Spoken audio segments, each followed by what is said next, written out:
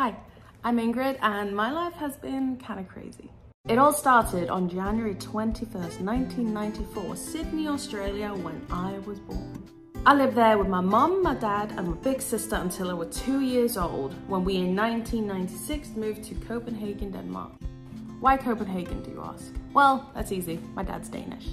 A few years later, around 1999 or something like that, mum and dad got divorced. But they're both happily remarried and my dad even has two more girls, which makes me a big sister. Anyway, I went to school in Denmark at a school called School, but that was practically over before it even started, when in 2005, me, mom and stepdad Tom packed our stuff and moved to the one and only Singapore. I ended up at a school called Tanglin Trust School, though I hated it at the time. In hindsight, it was probably one of the best schools in the world. I made some great lifelong friends, I got to travel a lot during those years. I even met my first love.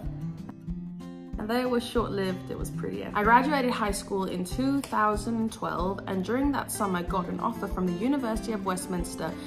So I was off to London, England.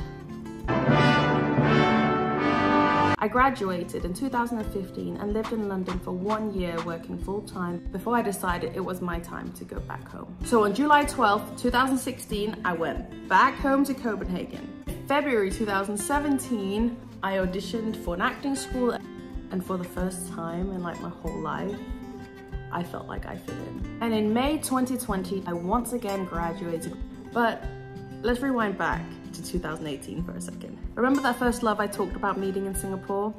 Yeah, well, he became my last love too. Corbett and I reconnected by luckily being in the same place at the same time and decided that we did not want to live life not loving each other.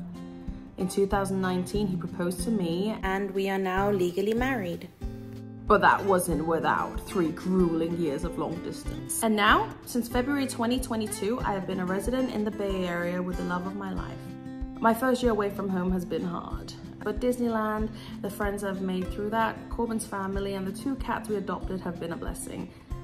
So yeah, now I'm here. My green card has been approved, so we have so many travels coming up, including going back home to Copenhagen, Singapore, going back to New York for Christmas, and we've also got a trip to Disney World planned. Who knows? I might start documenting it.